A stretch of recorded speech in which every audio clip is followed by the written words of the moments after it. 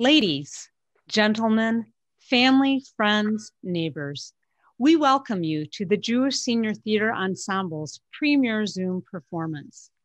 Theater can happen anywhere, and as a culture, we are moving into an exciting new time of theatrical styles.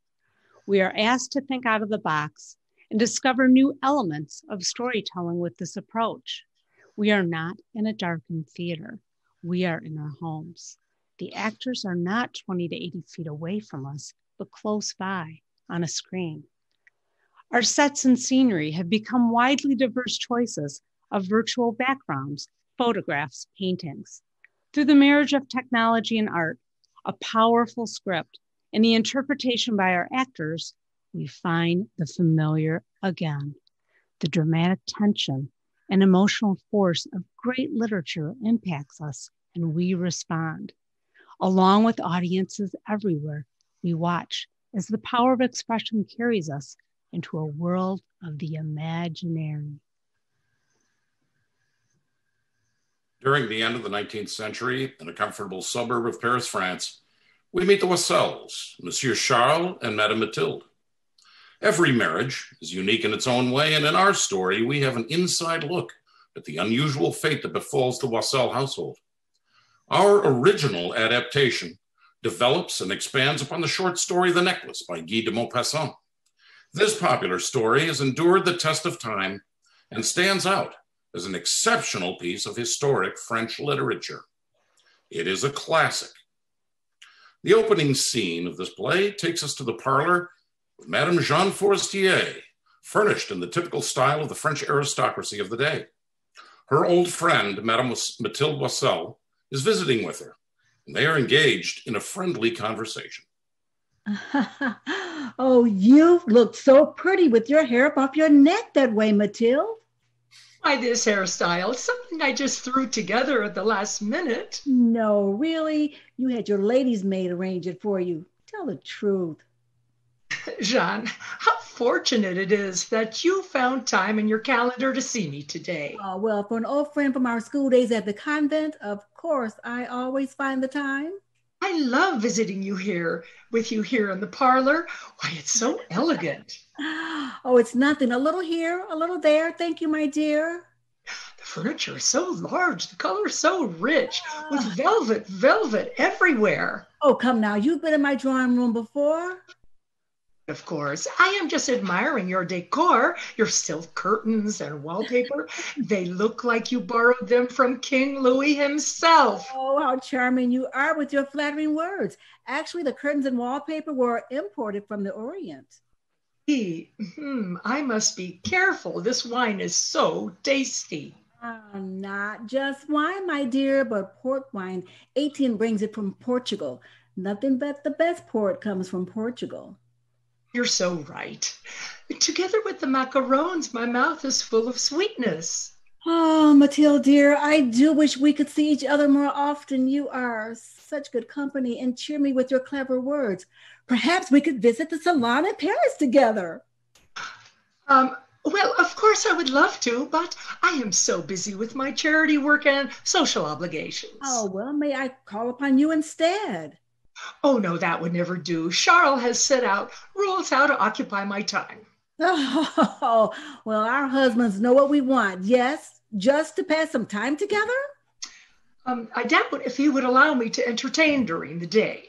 Oh, I understand. Men can be so, well, unreasonable. yes, I guess you're right, Jeanne. Jeanne and Mathilde very much enjoy an occasional visit together. However, when Mathilde leaves the Forestier's elaborate parlor, she begins to grieve. She resents that her life is so common and ordinary compared to the extravagant life of her friend. Heartsick by her low status in society, the dreariness of her everyday life, Mathilde vows never to return. Scene two takes us to the modest home of Monsieur and Mademoiselle. We discover Mathilde and Adele who is their servant, cook, scullery maid, and housekeeper. The two of them are discussing the evening meal. Am I preparing Scotch broth again tonight, Madame? And why not? It is our dinner of all dinners every night, is it not? We have turnips, potatoes, and a bag of scraps. Yes, and soak the bread in it, Adele, while it is hot. Yes, ma'am.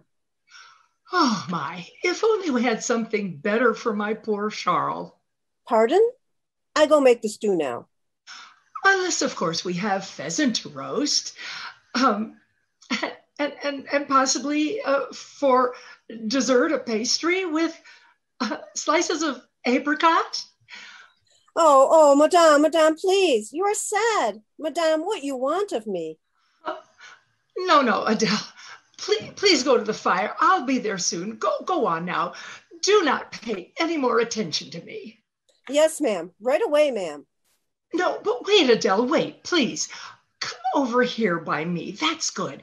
Now, could you ever, do you not ever uh, dream of stiff iron tablecloths, dishes of porcelain, cognac, cheese? No, madame, no understand. So sorry. What is matter? Oh, oh, oh, no, no. Everything is fine. You may go. I go to the fire, yes? Yes, go now. I will come to you soon. At the end of a long day, Charles Loisel, Mathilde's hardworking husband, arrives at home. He is employed at the Ministry of Education.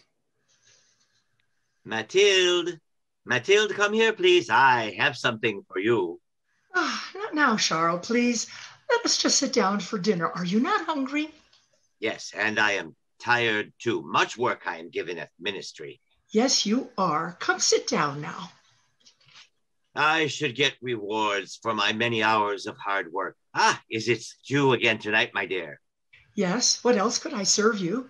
I'm afraid we eat like paupers. You deserve more when you come home so tired.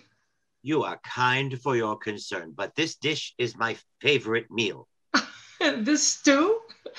But it is as plain as this house, a simple, humble dish. What, you are not happy in our home? Yes, I am. It is just that our rooms are so sparse. What is wrong with the rooms? Well, they're small and barren. The walls are almost empty, the furniture worn and frayed, meager. Imagine if we had a gold framed mirror, a brocade tapestry, and more portraits to cover the walls. Come now, Mathilde, this house keeps us warm from the cold and dry from the rain. Very suitable, I should think. Now stop your foolish talk and eat this good meal. Yes, I will eat. Just dreaming, I guess, as usual. We could be in much worse shape. Some of the dwellings I see walking through the streets, now those are truly dreadful. We are fortunate. Dear. Oh, I almost forgot. I have an envelope for you to open. What is it? I shall read it for you. the Minister of Education and Madame Georges Ropineau beg Monsieur and Madame Loisel to do them the honor of attending an evening reception at the ministerial mansion on Friday, January 18th. Well, what good is that to me? My dear, I thought you'd be thrilled to death. You never get a chance to go out, and this is a regal affair, a wonderful one. I had an awful time getting an invitation. Everybody wants one. It's much sought after, and not many clerks have a chance at one. You will see all the most important people there.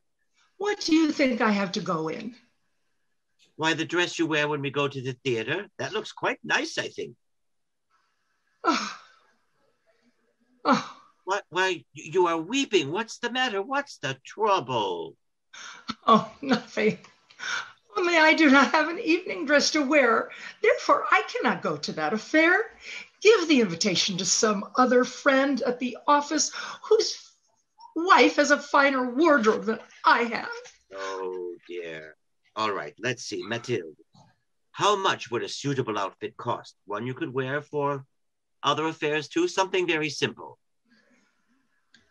Mm, I'm not sure exactly, but I think with 400 francs, I could manage it. He has set aside just that amount to buy a hunting rifle for a weekend lark, shooting with friends in another town. If it will ease your distress, I'll give you 400 francs, but try to get a pretty dress. Oh, 400 francs. I could hire a seamstress to make a beautiful gown for that much money. Thank you, thank you so much. As the day of the party approaches, Mathilde seems sad, moody, ill at ease. Her outfit is ready, however. Her beautiful gown was built especially for her, yet she remains distracted and unhappy. What is it, my dear? Is the gown not enough? Made for you in the style of the day? Gloves, shoes, fan. You will be the belle. Charles, how can I be a belle with a neck unadorned and naked? Come now, is that what's been the cause of your low spirit for the last three days? Are you not excited about going to the ball? It's embarrassing not to have a jewel or a gem, not to wear around my neck. I will look like a pauper. I would almost rather not go to the ball.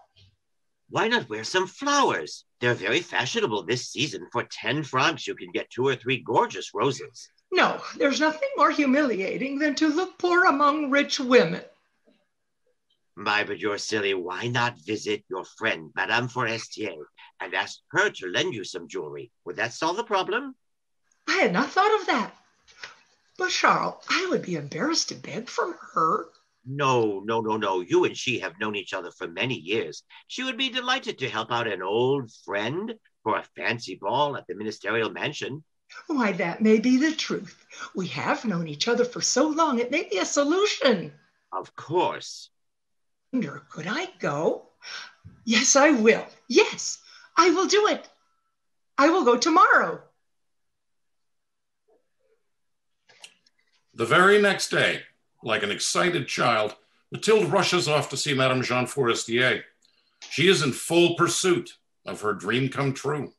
Once again, in Jeanne's drawing room, we discover the two old friends engaged in an excited, high spirited conversation. And you know, of course, that Charles and I have the honor of an invitation to the ministerial mansion ball in January. Oh, that's marvelous news. You are so fortunate, my dear Mathilde. You should see my gown. It is, well, resplendent, pale blue colored, flowing layers to the floor. I wear very long gloves and pumps. I also carry in one hand my mother of pearl fan. Oh, but you see, I'm not sure yet. Well, it does sound gorgeous, but why is it that you hesitate? Well, my outfit is nearly complete, Jeanne, my friend, but mm, I'm still a little sad, I'm afraid. Well, why is that? How can I help? I have no jewel or necklace to wear with my gown. I will look out of place. Oh, no. Well, we shall see about that. I will get my jewelry box and you may choose one of mine to wear. I may choose one of yours? Oh, my, thank you. Surely, here, take a look. Mathilde looks eagerly through the black satin box with excitement. She tries on a multi strand pearl necklace, a Venetian cross. However, she expresses to her friend that she is not satisfied. Have you met something else? Oh, yes, keep on looking. I do not know what you wish to wear.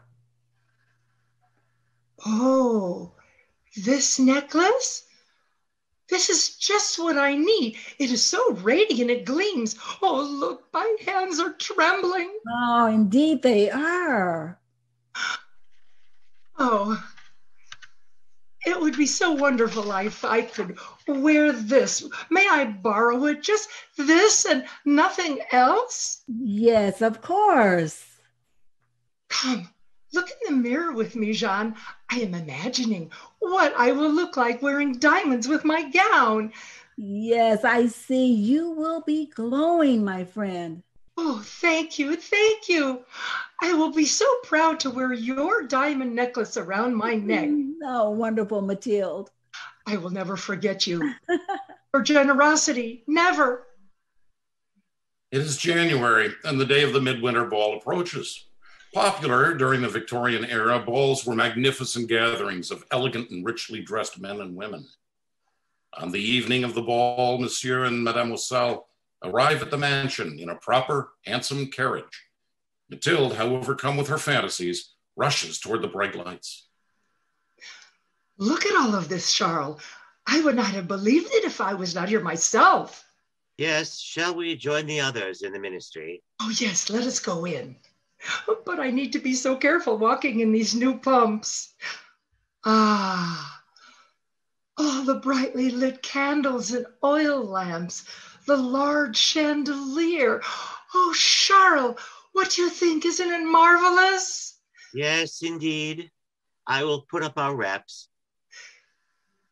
I shall move in with the other women too, so they can admire my gown. By now, Matilda's joined the others on the dance floor. The eager gentlemen guests stand by, watching her enthusiastically, ardently. Every time the orchestra stops, these men rush toward her, asking her to agree to the next waltz. She dances madly, delirious with pleasure, giving no thought to anything in the triumph of her beauty and success. Now we notice two slightly older women standing off to the side. They are looking at Mathilde with envy. One woman is fanning herself furiously.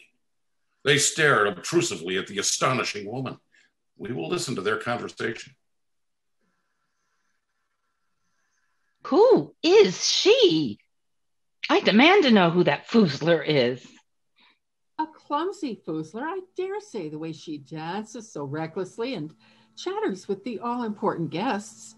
Why, Patrice, she acts like a trollop. Oh, Charlotte, come now. Do not wag that vulgar tongue so. Do you not see that she is not one of us? A hornswoggler she is indeed, a fraud. Huh, and how is it that you know that? Just look at her ankles, Charlotte. I can always tell the lowly women among us. I see that her ankles are wide, too wide to qualify. Oh, I dare say, yes, they are unfashionably wide. Oh, I cannot bring myself to look at them any longer, poor thing.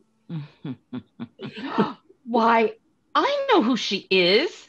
That simple little Mathilde Loisel, Charles Loisel's wife. She's unmistakable. I recognize those ankles. Why, yes, I believe you were right. That's Mathilde.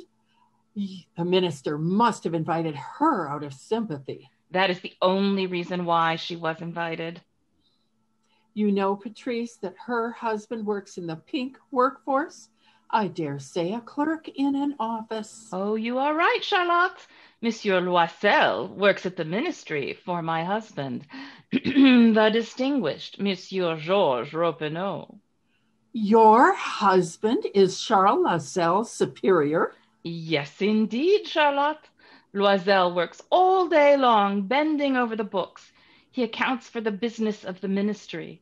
I dare say Georges felt obliged to invite the Loisels. They are so pitiful, and the man longed so for an invitation. Just look at her showing off. I would feel embarrassed to have all those men looking so amorously at me. How pathetic they all are. They must not see her ankles. Look how she twirls and spins around waltzing like she is the prettiest, most admired woman in the room. Oh, you mean the most desired woman in the room? Oh, how wicked your tongue. A real tattler you are. Oh, not a gossip, not I. I merely tell the truth. There, even the cabinet officials beg to waltz with her. Ah, I dare say there's our minister himself, bowing and speaking with her. Why, that is my Georges, my very foolish husband. Well, I shall put an end to that. He shall hear from me. How dare he mingle with such a common woman? Excuse me, Charlotte. Madame Ropineau runs off to scold her husband, while Madame Soulet follows in her wake, oh. smiling to herself. Ordinarily, at this point, we would take a short intermission. Since we are all at home, take a few minutes for yourselves, and we will return in five minutes.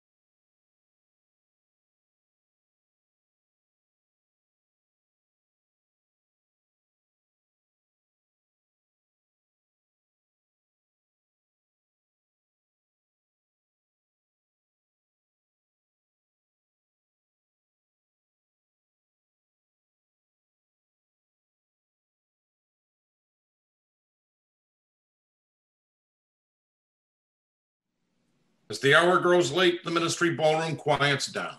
Candles are dimmed. The orchestra has begun to pack their instruments. Remaining members of the crowd are leaving for home. Mathilde reluctantly goes to find her husband, who is sleeping on one of the valet's sofas by the door. Charles, Charles, wake up now. It is time to leave. Come on now, let us hurry away. Oh, hello there, dear. What time is it? It is very late. We must go. We cannot stop now.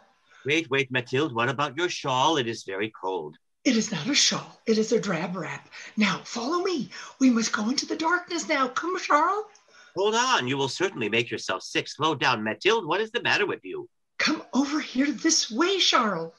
Put this shawl on your shoulders. It is cold outside. Oh, fine. I will take that old wrap now. We can no longer be seen by the others. Here, over your shoulders. There we go. That is better. Now, oh, will we ever find a cab? We are already halfway down to the docks. There is no, there's sure to be one of those shabby nighttime carriages here by the Seine. I am tired and I have to be back at the ministry so early in the morning. Any kind of ride will do. Finally, they call over a passing carriage that takes them to their home in the Rue de Martyrs in the outskirts of Paris. They climb wearily up to their apartment. Matilda looks in the mirror to admire herself once again as she removes her shawl. Oh no! What's the trouble? Anne, I do not have Madame Forestier's necklace. What do you mean I do not have? That is not possible. Look through the folds of your dress, your cloak, the pockets. I am, and it's nowhere to be seen. Look on the floor, the stairs, by the door. Are you sure you had it when leaving the dance? Yes, I felt it when I was in the hall of the ministry. But if you had lost it on the street, we'd have heard it drop. It must be in the cab. Yes, quite likely. But which cab was it? Did you happen to get its number? No, you did not notice it either. No. I'll retrace our steps on foot, see if I can find it. You are you going to leave me here? May I go with you? No, no, you may not. You are very upset. Now sit down, Mathilde, and pull yourself together. I will be thorough. You may be waiting a long time. I think I may faint. Come back soon.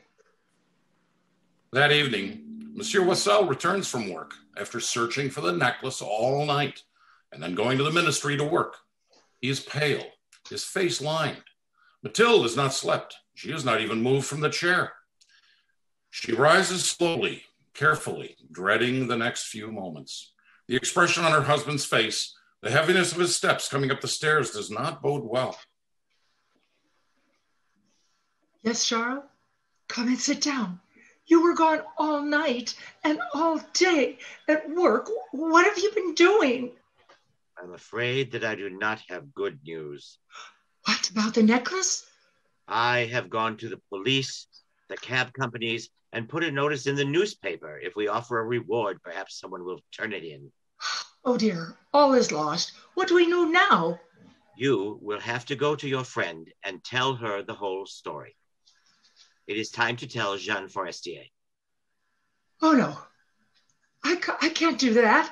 I could never do that. It would be too humiliating. What does that matter? We have no choice. Oh no, no, never. Please, Charles, do not force me to do that. It is time to tell her the truth. You are old friends. Madame Forestier will understand and forgive. No, tell me what to say and I'll write her a letter. I will explain that the latch broke and I need to have it replaced. I cannot consent to this. I see no other way. Please, a letter will give us more time to find the necklace, don't you see? Oh, foolishness. Come, Charles, dictate a letter to me. You are so good with words. As the days pass, the Loisels continue to ask for help, check the progress of their ads, retrace steps. They are desperate to find the missing necklace. It is becoming more and more evident that the necklace is never to be found. At the end of the week, they have given up all hope.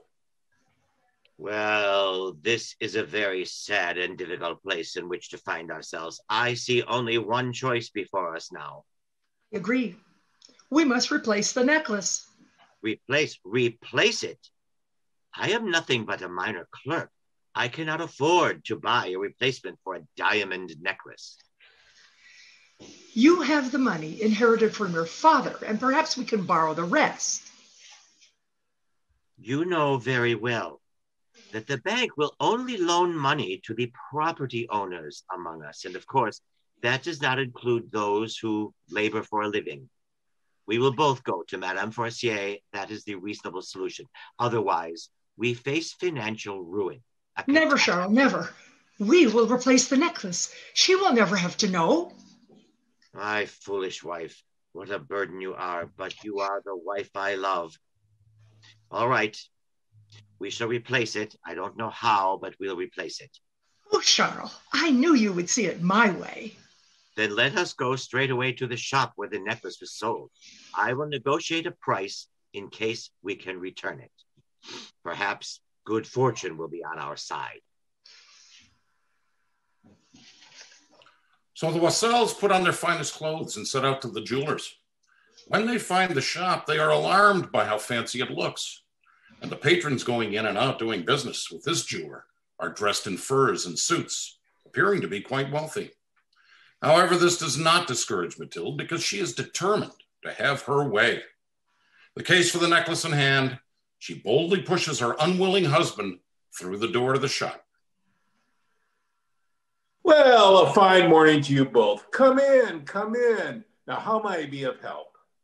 We hope to replace a necklace that was bought here in your shop. Yes, a diamond necklace, but it was lost. Here, look inside the case in which it came. Your name is inscribed. Oh, really? No. Uh, may I see the case, please? Uh, no, just as I thought. I did sell that case, but it was for a different necklace, one that was purchased elsewhere, I'm afraid. Oh, no, but we have looked everywhere for that necklace in all the better shops and have not found it anywhere. I see. Uh, do you remember what the case, what it looked like? Yes, indeed. I remember it exactly. I even drew a likeness of it on this paper. Please, won't you look at it? Uh, indeed, I will. Why, this is drawn by a fine hand. I can see the I can see the shape and design clearly. If only we could find another just like it. It is terribly important. Uh, do you see that small workplace in the back? I'm also a goldsmith. Uh, would you like me to re- replicate the necklace for you? It would be difficult, but I imagine that I could do it. How to do that? Uh, I'm a businessman. For the right price, I could create a crown for the Queen of England. And what would that right price be, may I ask? Uh, I'll give you a figure, but first I must consult my books. Will you excuse me for a moment? He looks down, pretending to go through his records, stealing sideway glances at the Loisels who are whispering in the corner. Come here, wife of mine. Yes? What are you thinking? We cannot pay this man. We must leave here at once. I will not listen to you, Charles. We made a decision and we will stick to it. Now come with me. Uh, monsieur and madame, I can create a diamond necklace for you for 40,000 francs. Would you care to pay now or later? 40,000 francs. We cannot pay that. May we ask for a lower figure? What? You want to make a pauper out of me? I will say 36,000, and that's the lowest figure that I can present. I still find that necklace. If we pay you and then find it, would you be in a position to buy it back? Of course, for 32,000 francs, I would. Yes, I understand. You are a businessman. I'll tell you what. I'll give you till the end of February to find that necklace, but you must pay me, and then I'll take it back. You must pay me first. We shall return in three days with the money. As Charles and Mathilde walk home, they enter into a bit of a conflict. And how, may I ask, are we supposed to get 36,000 francs in three days? Hmm, milady? But we agreed. Yes, I know. We agreed to replace the necklace, a diamond necklace, but 36,000 francs. How I dread borrowing the money. I have never even been in debt. Oh, I know. We are poor. We are nearly worthless. Uh, but let us not focus on that for now. We can plan how to pay back our loans later. Let's just focus on borrowing the money. Yes, just not think about it. Reckless lady, I will go and sign my life away, beg on my knees, borrow wherever I can. We will pay for the necklace, Charles. We just have to. We have no other choice. Poor Charles Loisel is becoming weary of asking for banknotes from both friends as well as mere acquaintances in his field of work. A few hundred francs from one person, several hundred more from someone else. In desperation to raise the money, he visits his old friend Francois. Oh, not I, Charles. You've known me for years now, so you know I'm as poor as you. Yet you come to me to ask for a loan. You know I still owe money to the usurer I have not finished paying. I'll tell you what, just for an old friend, I can spare eight francs. It's not much, but you will need to pay me back double the interest. Those are the terms. Understood? Double the interest. Like a beggar asking for scraps of food, he appeals to his supervisor, Monsieur Georges Rubineau. Yes, Loisel, you know quite well, I'm sure, that there's always more work to be done at the ministry. I do have work to complete that will earn you a few extra pennies. I need duplicate copies of all these documents, important correspondence and records. Can you do that for me in three days? There can be no errors, and I will pay you handsomely. Only it must be completed by Monday morning, or all is forfeit. Monday morning. Finally, in his anguish, he seeks the rest from a well known but disreputable moneylender, a trader who drives hard bargains and deals shrewdly. It is with fear and resignation that Monsieur Loisel takes on this risk. It is his last resort. so you want a loan from me? you know my terms, right? And the interest that I require in payments. Have you ever done this kind of transaction before? No, no, you never, never, right? I require payment in full. Are we agreed? Just sign here on this document, right here. That's right. Now, we are businessmen working together. A businessman always pays his debt. You understand? You will pay, or there will be consequences, my little man. And we do not want consequences, do we? Finally, after risking everything, terrified by the outlook for the future and the blackness of despair about to close around him, Monsieur Loisel goes to claim the new necklace from the jeweler as promised. Well, now, my dear, here is your precious necklace. Go now and return it to your old friend. After that, we will see some changes around here, I'm afraid. Embarrassed by the circumstances and to avoid being seen, Mathilde returns the necklace to a servant at the door to Madame Forestier's home and then quickly departs. Thereafter, Charles and Mathilde talk about the business of arranging their lives in a manner that will enable them to pay back the loans. You realize that that even if we sell everything we own, we will only raise a few thousand francs. Sell? Sell all of our belongings? Furniture? Clothing?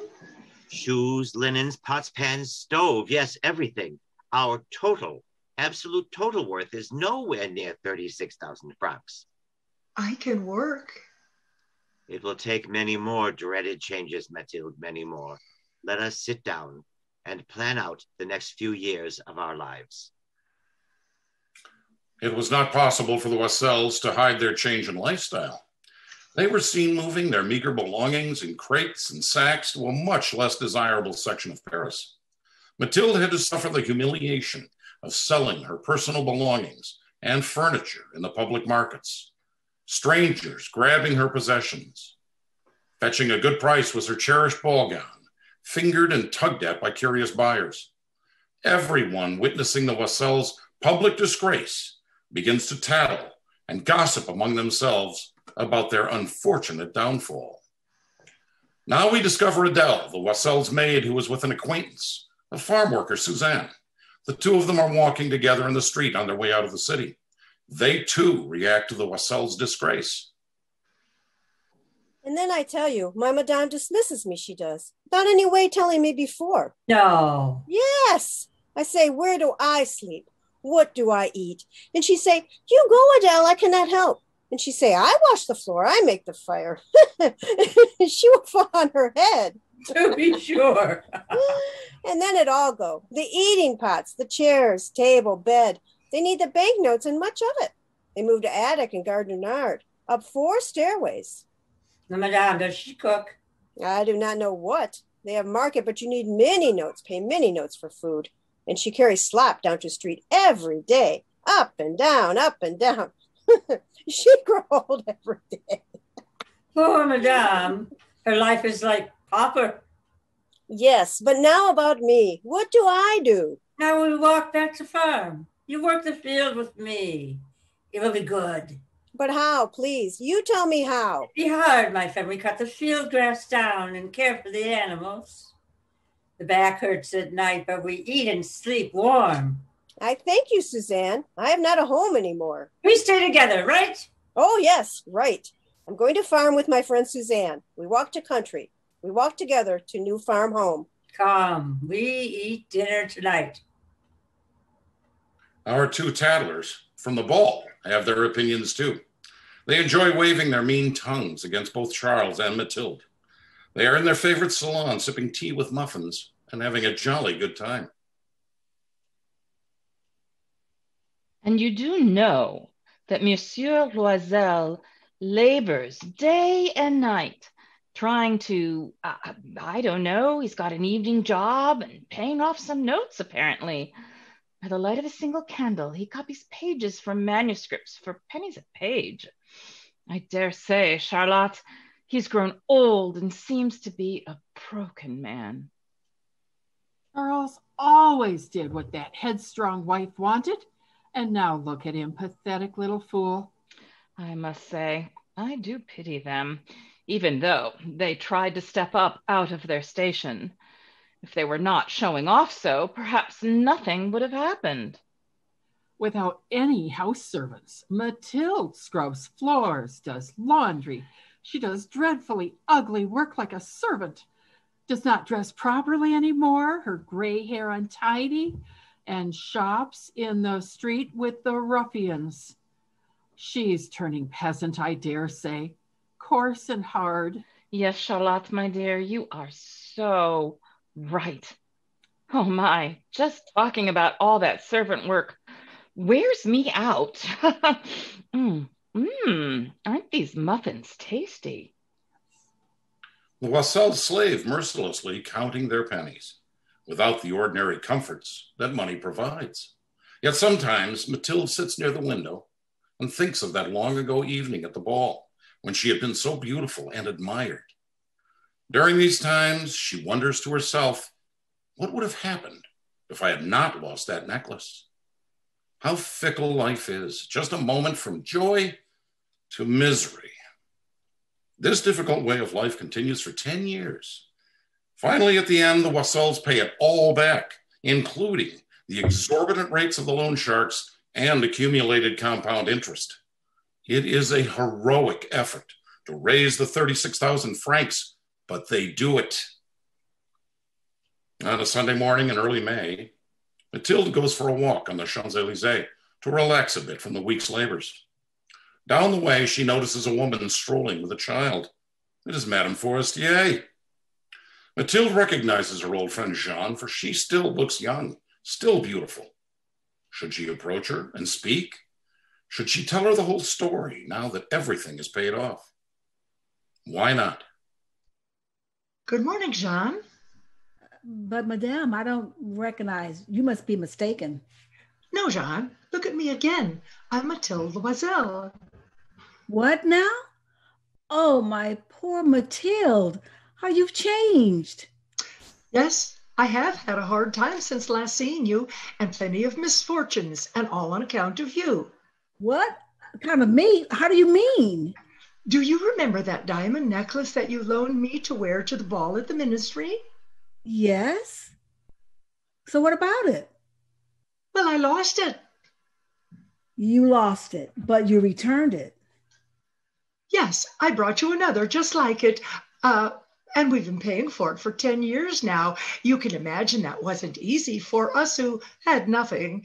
Well, it's over now, and I'm glad of it. You mean to say you bought a diamond necklace to replace mine? Never noticed then? That is good. They were quite alike. Oh, my poor Mathilde, but mine was just an imitation. Why, at most, it was worth only 500 francs. Oh,